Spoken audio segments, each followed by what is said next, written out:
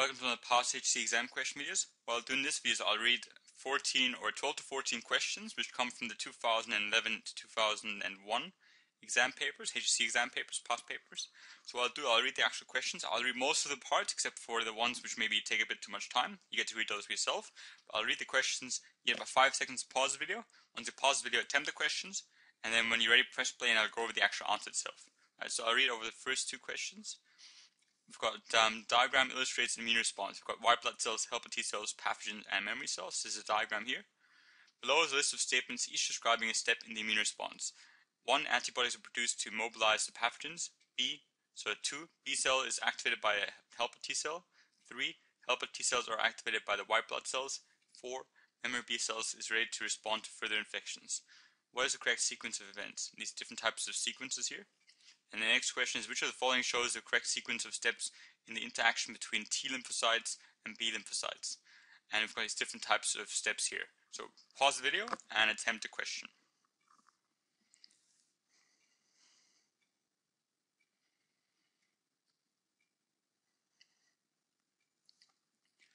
Welcome back. Right, so they're both quite similarly the actual questions. The first one is C for this one, and the next one is A for this one. The reason why is what happens first is helper T cells are activated by white blood cells. These could be B lymphocytes, they could be T, uh, they could be macrophages, but they get activated. Then when the T cells are activated, what they do is they can activate the B cells. The B cells will produce antibodies, and then the antibodies, after they've killed the infection, memory cells will be produced, and that's the last step. So that's why C is correct. And here, this is the reason why this is correct, is here we've got these T cells interacting with the pathogens presented by macrophages. In this case, the white blood cells are macrophages. So they've been activated. Then they activate, once they're activated, they can activate the T cells. Um, and then these T cells will activate more, so differentiate into more helper T cells. And then the more helper T cells can produce even more chemicals that will produce even more B and T cells. In this case, it says these helper T cells will activate a few chemicals, these are interleukins, they will activate even more B cells. Right, so we go from T cells being activated by macrophages, these T cells then differentiate and change into helper T cells. The helper T cells then produce chemicals to um, activate B cells, and then B cells will produce antibodies and kill off the infection. Right, so A is correct in this one. Right, next four questions. Which of the type of cell destroys viral infected cells? B cells, killer cells, helper cells, cytotoxic T cells. This is a trick question, right? It's going to be you're going to have to have two answers, or two possible answers. Which scientists improved the understanding of the immune response? George Beadle, Frank Macfarlane, Robert Koch, or Walter Sutton? Why do organ transplant patients need anti-rejection medication? A. To minimize infection. B. To prevent T lymphocyte growth. C. To stimulate the interaction of B and T lymphocytes. Or D. To prevent the recipient's blood type changing and adopting the immune system of the donor. Last one, these ones, how do vaccines prevent disease? Vaccines stop antigens triggering an immune response. Vaccines stimulate the production of specific antibodies. Vaccines will inhibit the inflammation response in the body. Vaccines restrict the vector's ability to inhibit a variety of environments. So when you're ready, pause the video and attempt the question.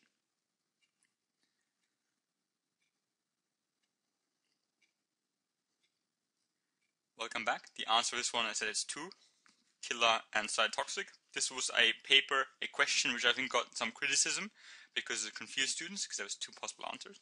But both of these are cells, T cells that can actually kill. Helper T cells are the ones that activate, and B cells are the ones that kill through the use of antibodies. So the only ones who will actually destroy cells directly are the cytotoxic and kill T cells. B cells produce antibodies, and thereby destroy um, pathogens indirectly.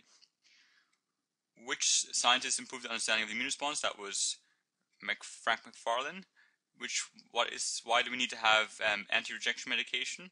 This is to prevent T lymphocyte growth. And how do vaccines prevent disease? This is vaccines stimulate the production of specific antibodies, right? So this Frank Macfarlane Burnet, he was a person who kind of um, discovered how these lymphocytes worked and the clonal selection theory.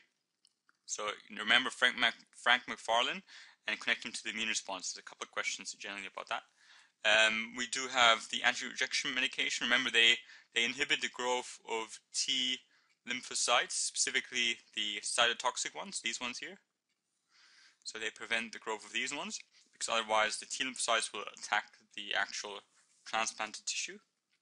How do vaccines prevent disease? These vaccines simulate production of specific antibodies, right? These specific antibodies will then destroy the infection. A secondary immune response. This was wrong because it, oh, sorry, the other one was wrong. They don't stop the antigen triggering the immune response. That's they will still trigger it, just be destroyed quicker. And the other ones are just false as well. Right, the next couple questions. Um, which flowchart correctly shows the interaction between B and T lymphocytes during an immune response? A. Infection. T cells recognize anti antigen as foreign. B cells stimulate and antibodies produced. B. Infection. B cells recognize antigen as foreign. T cells stimulated and antibodies produced. Or C. Infection. T cells stimulated antibodies produced. And B cells recognize antigen as foreign. Infection. B cells stimulated and antigens produced. And T cells recognize an anti antibody as foreign. Next one is why are polio vaccinations effective? They cause an inflammation response resulting in production of antibodies that engulf the poliovirus if it enters the body. They cause immune response resulting in production of cytotoxic killer T cells that remain in the blood attacking all viruses that enter the body. They cause immune response resulting in the production of memory B cells that provide a rapid response if they are infected by the poliovirus. They cause an inflammation response resulting in production of memory T cells that provide limited response if the infected by the poliovirus. And then 14, organ transplant patients are given drugs to minimize rejection of transplanted organs. How do these drugs work? They inhibit the production of enzymes by transplanted organs that leads to its rejection. They suppress immune response, which recognize foreign molecules on the transplanted organs. They act as antibiotics so that bacteria are killed before causing infection in transplanted organs. They promote their, the repair of the blood vessels connection between the transplanted organ and the host body. So when you're ready, pause the video and attempt the question.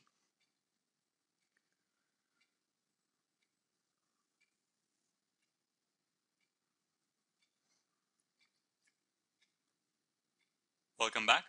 So in this case, the actual correct one is A. The reason why is because when there's an infection, often it's the T cells that will recognize the antigens. In this case, it will be the helper T cell. It can also be the B cell, but I'll show you why this one is incorrect in a second.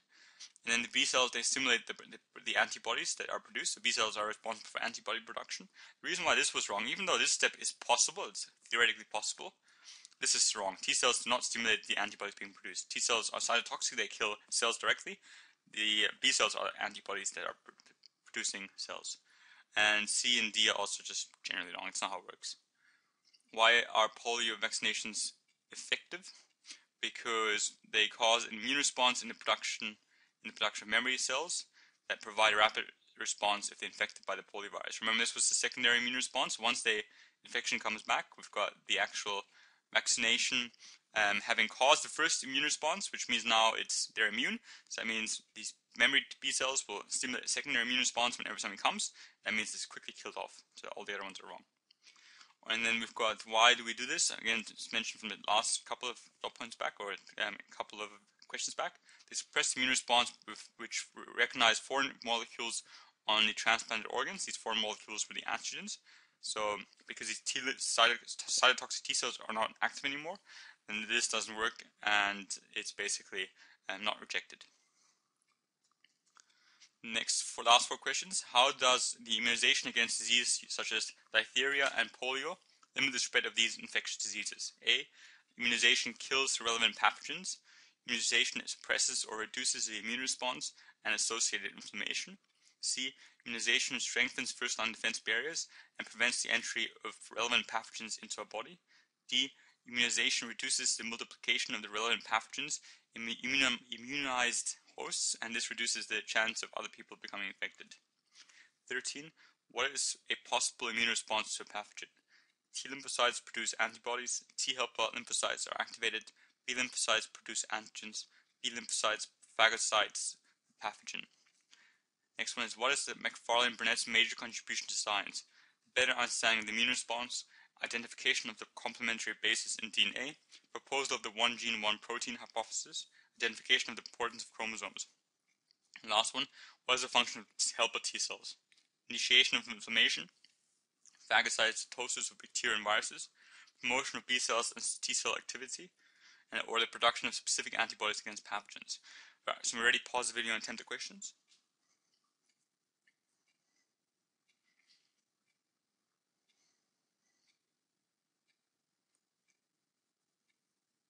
Welcome back. Right, so first one, 14, was D. Was possible immune response to a pathogen that is help T helper cells are activated. T lymphocytes don't produce antibodies, that's B cells. B lymphocytes produce antigens. No, antigens are never produced. They're just um, act uh, thought against. And they fight against them. Not, they don't activate them, or they don't produce them. And B lymphocytes phagocytoses the pathogen. That's your phagocytes, not your lymphocytes. Your B lymphocytes. And then what was Macfarlane's contribution to science? Remember, that was a better understanding of immune response. Was a function of T helper cells. That was we have the promotion of B and T cell activity by producing these chemicals that will activate your actual B and T cells. The reason why this one was was correct is because immunization reduces the multiplication of relevant pathogens and does so by actually having these memory cells. So the memory cells means the, the pathogen will still come in, but once the pathogen enters the body, memory cells will be activated, which means then all of the B cells will be activated, and it will quickly fight off the pathogen before it can multiply to any big level, right? So it doesn't the B cells don't directly kill the relevant pathogens, but what they do is they quickly make sure that pathogen can't multiply by then activating the B cells, which will kill off any pathogens before they can multiply directly, but it won't directly kill it as A would suggest. And when we said that Macfarlane, that was his uh, understanding immune response, we had that question beforehand already. And the function of T cells is to activate B and T cells. I hope that was useful.